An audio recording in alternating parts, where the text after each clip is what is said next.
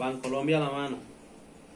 When you have done like the application you must private some person information as identity, documents, number of cell phone, emails, date of birth date, address. You have to use password your accounts.